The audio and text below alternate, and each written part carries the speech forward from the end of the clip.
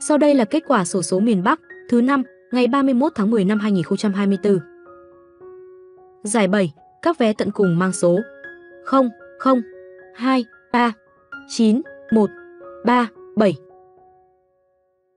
Giải 6, các vé tận cùng mang số 7, 5, A, 0, A, 8, 2, 2, 4.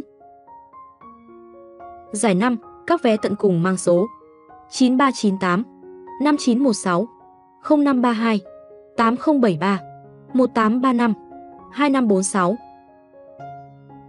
Giải tư, các vé tận cùng mang số 6813, 7863, 1566, 0918. Giải 3, các vé tận cùng mang số 68053, 47375, 90254, 45618, 35731, 38132.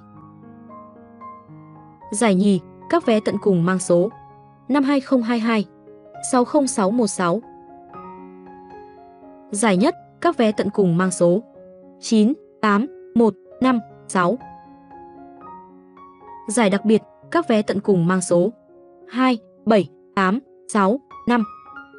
Với mã vé số đặc biệt lần lượt là 3, vd D, 5, V, D, 6, V, D, 7, V, D, 8, V, D, 9, V, D, 14, V, D, 16, V, D.